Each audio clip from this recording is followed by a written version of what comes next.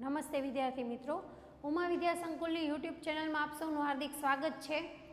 આપણે એસપીસીસીમાં બીજો પાઠ સમજાતા. સીસી વિભાગમાં બીજા પ્રકરણની વાત કરી હતી. બીજું ચેપ્ટર સમજાતા આપણે. પત્ર વ્યવહારને લગતું અલગ અલગ પત્ર વ્યવહાર હતા. સરકારી કર્મચારી દ્વારા પત્ર વ્યવહાર હતા.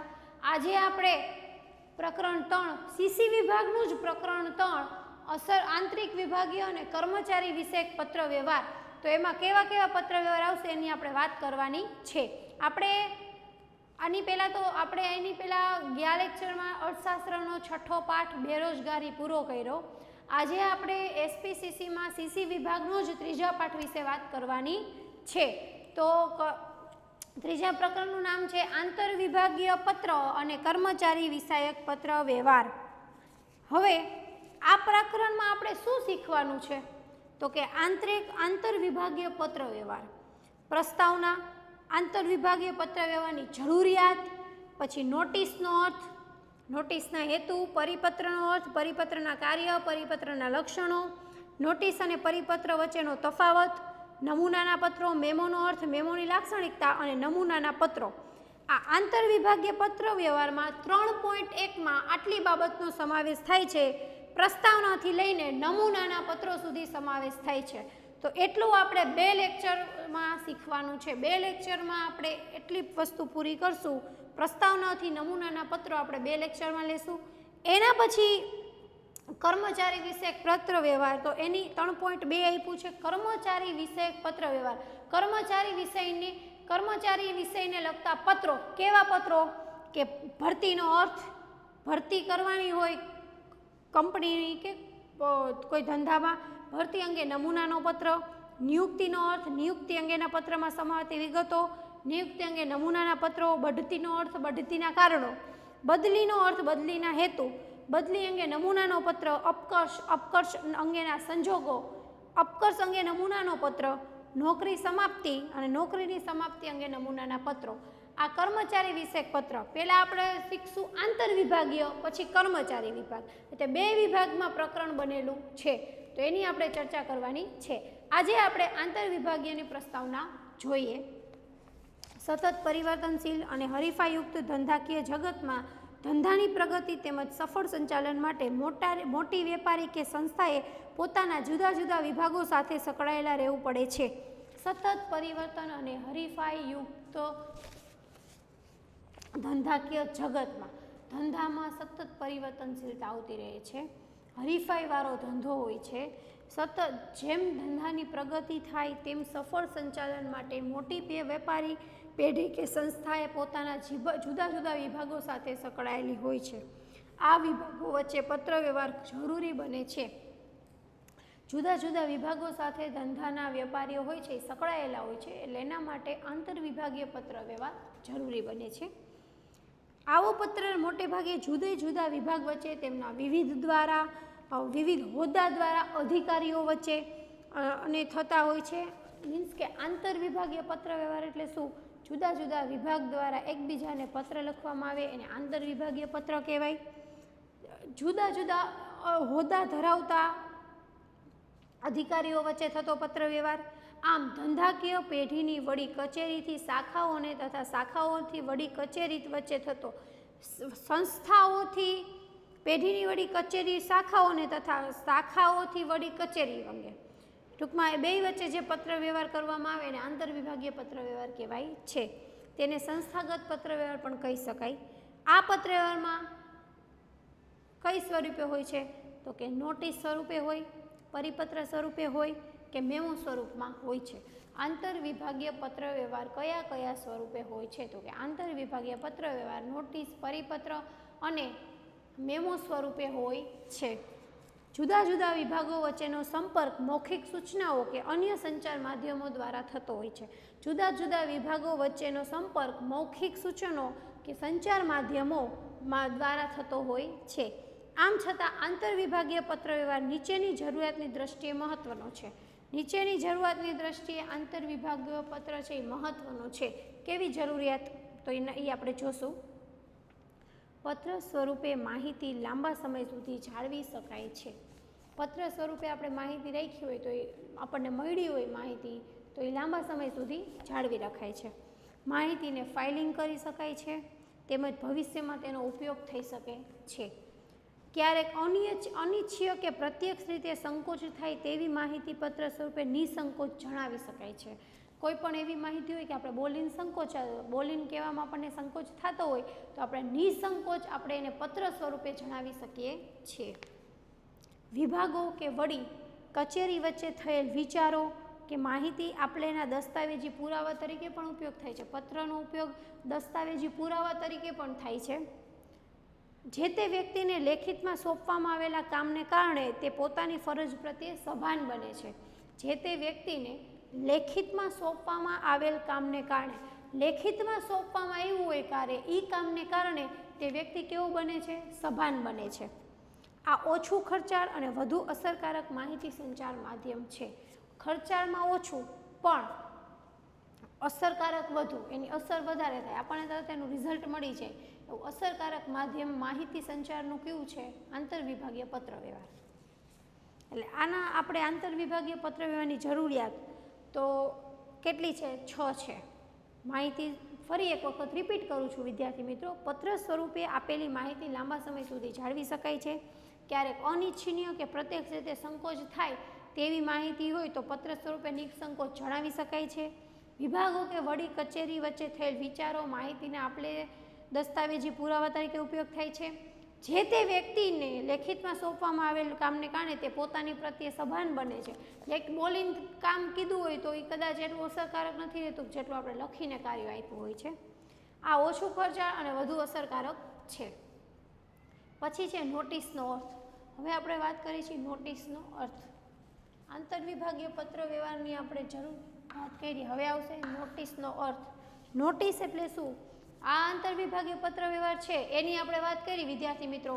તો એ નોટિસ પરિપત્ર અને મેમો સ્વરૂપે હોય છે. તો હવે નોટિસ અંગે વાત કરીએ આપણે. નોટિસ એટલે શું? વેપારી પેઢી કે સંસ્થામાં કાયદાકીય બંધારણ અથવા કાર્યાલયની માળખાગત બાબતો, તેમાં અને તેમાં થતા ફેરફાર તથા અમલીકરણ અંગેના કાર્યાલયના કર્મચારીઓને જાણ કરવા લખાતો પત્ર એટલે નોટિસ. તમે ઘણી વખત એવો શબ્દ સાંભળ્યો હશે કે નોટિસ બોર્ડમાં આમ લખ્યું છે. આપણે શાળાઓમાં ભણતા હોય તો નોટિસ બોર્ડમાં સૂચના લખી હોય.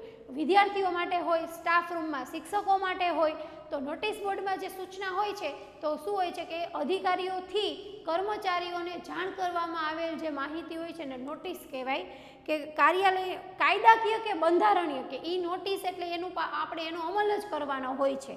એને કહેવાય નોટિસ તો વેપારી પેઢી કે સંસ્થામાં કાયદાકીય કે બંધારણીય અથવા કાર્યાલયની માળખાગત કાર્યાલયની માળખાગત બાબતો હોય, એમાં થતા ફેરફાર અને તેના અમલીકરણ અંગે કાર્યાલયના કર્મચારીઓને, એના અમલીકરણ અંગે કાર્યાલયના કર્મચારીઓને જાણ કરતો પત્ર એટલે નોટિસ, કે એના અમલક, અમલીકરણ માટે આપણે જાણ કરવાની હોય છે. નોટિસના હેતુ, શું કામ નોટિસ હોય? જ્યારે નીતિ વિષયક બાબતોનું સંપૂર્ણ પાલન ન થતું હોય ત્યારે કર્મચારીનું ધ્યાન દોરવા. ક્યારેક એવું કામ હોય કે કાયદો હોય એ પ્રમાણે કામ ન થતું હોય, તો કર્મચારીને જાણ કરવા. સંજોગ અનુસાર કરવામાં આવતી ફેરફારોથી કર્મચારી સંજોગો આવતા અમુક કાર્યમાં ફેરફાર અનુસાર કરવામાં આવતા ફેરફારોથી કર્મચારીને જાણ કરવા. ક્યારેક કર્મચારીને નિયત ક્રમમાં અને ચોક્કસ કાર્ય પદ્ધતિ મુજબ કામ કરવાનો આદેશ આપવા. નિયત ક્રમમાં. કાંઈ કામ એવું હોય તો આપણે કર્મચારીને નિયત ક્રમમાં એ કામ કરવાનું હોય, ચોક્કસ કાર્ય પદ્ધતિ મુજબ કામ કરવાનું હોય, તો એવો આદેશ આપવા. સામાન્ય રીતે કોણે કયું કામ ક્યારે અને કયા કાર્યક્ષેત્રમાં રહીને કરવાનું છે તે દર્શાવવા. સામાન્ય રીતે કોણે કયું કામ ક્યારે અને કયા કાર્યક્ષેત્રમાં રહીને કરવાનું છે એવું દર્શાવવા પણ નોટિસ લખવામાં આવે છે. કામની પ્રગતિનો અહેવાલ કોણે કોને આપવાનો રહેશે તેની જાણ કરવા, કે કામની, કામ કરવાનું છે તો એ કામ કોણ કરશે, ક્યારે કરશે, એવી જાણ કરવી હોય તો એ નોટિસનો ઉપયોગ થાય છે. આ છે નોટિસનો અર્થ અને નોટિસનો હેતુ. હવે આવે છે પરિપત્રનો અર્થ. હવે આપણે વાત કરીશું પરિપત્રની. આંતર એક એટલું યાદ રાખવાનું કે આંતર વિભાગીય પત્ર વ્યવહારમાં ત્રણ પત્ર ત્રણ સ્વરૂપે હોય છે. નોટિસ, પરિપત્ર અને મેમો. તો નોટિસનો અર્થ અને નોટિસના હેતુઓ જોઈએ આપણે. હવે છે પરિપત્ર એટલે શું? પરિપત્રનો અર્થ જોઈએ. ખાસ વિદ્યાર્થી મિત્રો આપણને બારમામાં પૂછાઈ શકે છે નોટિસનો અર્થ અને પરિપત્રનો અર્થ. એનો નીચે તફાવત પણ આપેલો છે. પરિપત્રનો અર્થ એટલે વેપારી પેઢી કે સંસ્થા સંસ્થાના વ્યવસ્થા તંત્રએ ઘડેલ આચાર સંહિતાની માહિતીથી કર્મચારીઓના જૂથને વખતો વખત માહિતી કરવાના અભિગમથી લખાતો પત્ર. એટલે વખતો વખત એટલે સમયે સમયે જે પત્ર લખવામાં આવે છે, જે વેપારી પેઢી કે સંસ્થાએ જે ઘડેલ આચાર સંહિતા હોય કે એ એ પહેલેથી એ જ પ્રમાણે કાર્ય થતું હોય એ આચાર સંહિતાની લાગુ જ પડેલી હોય, તો એ પ્રમાણે કામ કરવામાં આવતું હોય, તો એને કહેવાય પરિપત્ર. સર્ક્યુલર લેટર પરિપત્ર વ્યવહારિક અને વહીવટી દ્રષ્ટિકોણ ધરાવે છે. પરિપત્ર છે એ વ્યવહારિક અને વ્યવહારિક દ્રષ્ટિકોણ ધરાવે છે. વહીવટી દ્રષ્ટિકોણ ધરાવે છે. એટલે કે એમાં વહીવટી બાબતોનો જ સમાવેશ થાય. એમાં કોઈ કોઈ કર્મચારીનું કામનું ધ્યાન દોરવા કે એવો કોઈ સમાવેશ ન થાય, આમાં શેનો સમાવેશ થાય છે? તો કે વહીવટી કાર્યનો જ સમાવેશ થાય ને એને પરિપત્ર કહેવાય, કે જેમાં ઓફિશિયલ બાબતો જ હોય. કર્મચારીને તેમના કાર્યક્ષેત્ર અંગે માર્ગદર્શન આપે છે. પરિપત્રમાં એવું ન હોય કે કર્મચારી માઇન્ડ આપણે ફોર એક્ઝામ્પલ તરીકે નોટિસ એવી રીતે હોય કે આવતીકાલથી દરેક કર્મચારીઓએ નિયત સમયે આઠ વાગે પહોંચી જવું. તો એ નોટિસ એને કહેવાય. પરિપત્રમાં એવું ન હોય. એમાં પરિપત્રના પરિપત્રમાં કાર્ય ક્ષેત્ર જ દર્શાવેલું હોય છે. વ્યવસ્થા તંત્રે લીધેલા નિર્ણયોના યોગ્ય અમલ અંગે કર્મચારીનું ધ્યાન દોરવું. કર્મચારી પાસેથી શું અપેક્ષિત છે તેના વિશે સ્પષ્ટીકરણ કરે છે. કે કર્મચારીઓ પાસેથી કયું કામ લેવાની અપેક્ષા વધારે છે? કર્મચારીઓમાં સમાનતા જાળવવાનું કામ કરે છે. પરિપત્ર છે એ સમાનતા જાળવે કર્મચારીઓમાં. હવે છે પરિપત્રના એ કાર્યો, હવે પરિપત્રના લક્ષણો. પરિપત્રનો અર્થ જોયો આપણે. એના કાર્યો. કાર્યો, તો કે, કાર્યક્ષેત્ર અંગે માર્ગદર્શન આપે. વ્યવસ્થા તંત્રએ લીધેલા નિર્ણયોના યોગ્ય અમલ અંગે કર્મચારીનું ધ્યાન દોરે. કર્મચારીઓ પાસેથી શું અપેક્ષિત છે તેના વિશે સ્પષ્ટીકરણ કરે. કર્મચારીઓમાં સમાનતા જાળવવાનું કામ કરે છે. હવે આવે છે પરિપત્રના લક્ષણ.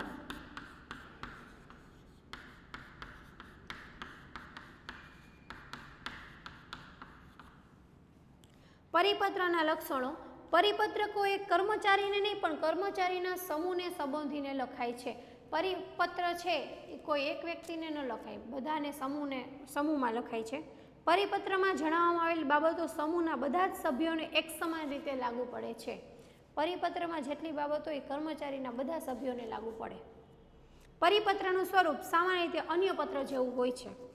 આમ છતાં કેટલીક વાર તેમાં સંબોધન કે શુભેચ્છા દર્શક સમાપન દર્શાવવામાં આવતું નથી. પરિપત્રનું સ્વરૂપ સામાન્ય ક્યારેક પત્ર જેવું હોય, છતાં કેટલીક વાર સંબોધન કે શુભેચ્છા દર્શક સમાપન આવું કંઈ દર્શાવવામાં આવતું નથી. પરિપત્રમાં તારીખ અને સમય ખાસ મહત્વ ધરાવે છે. પરિપત્રમાં સમય અને તારીખ ખાસ મહત્વ ધરાવે. પરિપત્ર નિશ્ચિત વર્ગના કર્મચારીને નીતિ વિષયક નિર્ણયના અમલ તરફ ધ્યાન દોરવા માટે લખવામાં આવે છે.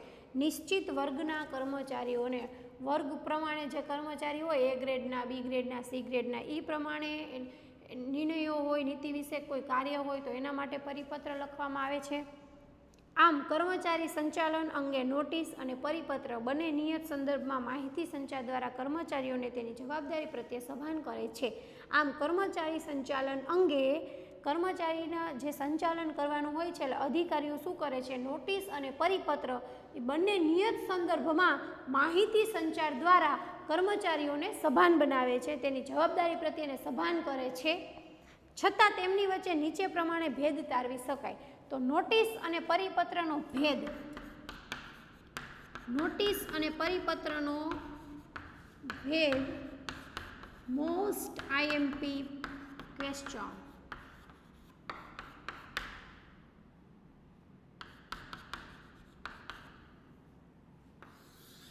બે માર્કમાં પૂછાઈ શકે. નોટિસ અને પરિપત્રનો ભેદ. નોટિસ વ્યક્તિ અથવા સમૂહને સંબોધીને લખવામાં આવે છે. ચાર મુદ્દા છે.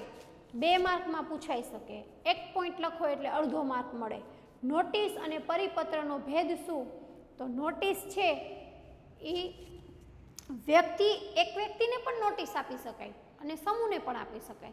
જ્યારે પરિપત્ર છે, એ મોટે ભાગે સંબોધ, સમૂહને સંબોધીને જ લખાય. કોઈ એક વ્યક્તિને સંબોધીને પરિપત્ર ન હોય, નોટિસ હોય, નોટિસ દ્વારા કાયદાકીય દ્રષ્ટિકોણ સ્પષ્ટ કરવામાં આવે છે.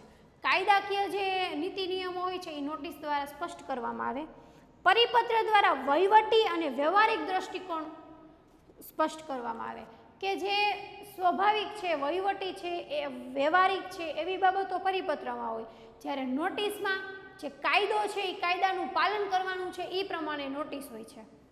ત્રીજો મુદ્દો, નોટિસ દ્વિમાગી આંતર સંચાર વ્યવસ્થા છે, દ્વિમાગી સંચાર વ્યવસ્થા છે. એટલે કે કર્મચારી ઉપર અધિકારીઓને અને અને ઉપરી અધિકારી કર્મચારીઓ, કર્મચારીઓને નોટિસ આપી શકે છે. કર્મચારીઓ ઉપરી અધિકારીને અને ઉપરી અધિકારી કર્મચારીને બેને નોટિસ આપી શકે. દ્વિમાર્ગી છે. પરિપત્ર એકમાર્ગી જ સંચાર વ્યવસ્થા છે. એટલે કે ઉપરી સંચાલક વર્ગ દ્વારા તેમના હાથ નીચેના કર્મચારીઓને પાઠવવામાં આવે છે. કર્મચારી અધિકારીઓને નોટિસ આપી શકે, કર્મચારી અધિકારીઓને પત્ર પરિપત્ર ન લખી શકે. ઉપરી અધિકારીઓ જે વહીવટી પ્રમાણે પરિપત્ર લખી શકે, એ નીચેના કર્મચારીઓને જ પાઠવવામાં આવે છે. એટલે કે નોટિસ છે દ્વિમાર્ગી માહિતી સંચાર છે, જ્યારે પરિપત્ર છે એકમાર્ગી માહિતી સંચાર છે. એની છેલ્લો મુદ્દો છે, જે બાબત માટે નોટિસ આપવી હોય તે અંગે પરિપત્ર પાઠવી શકાય. જે બાબત અંગે નોટિસ આપવી છે તો એમાં પરિપત્ર આપણે પાઠવી શકાય. જે બાબત માટે પરિપત્ર પાઠવવાનો હોય તો તે અંગે નોટિસ ન પાઠવી શકાય. નોટિસ આપવી હોય તો પરિપત્ર પાઠવી શકાય, પણ પરિપત્ર આપવો હોય તો નોટિસ પાઠવી શકાય નહીં. આ ચાર મુદ્દા ખાસ યાદ રાખવા. હવે આપણે નેક્સ્ટ લેક્ચરમાં નમૂનાના પત્રો વિશે વાત કરશું. કેમ કે આંતરવિભાગીય છે, એનો આપણે અર્થ જોયો, એની લાક્ષણિકતાઓ જોઈ, અને એ આંતરવિભાગીય પત્ર છે ત્રણ સ્વરૂપે હોય છે. નોટિસ, પરિપત્ર અને મેમો. તો આપણે નોટિસના અર્થકાર્યો, પરિપત્રના અર્થકાર્યો બે વચ્ચેનો ભેદ જોયો. હવે મેમો સ્વરૂપે જે પત્ર લખવામાં આવે છે, એ મેમોના પત્રો આપણે આવતા અઠવાડિયામાં જોવાના છે. આભાર વિદ્યાર્થી મિત્રો.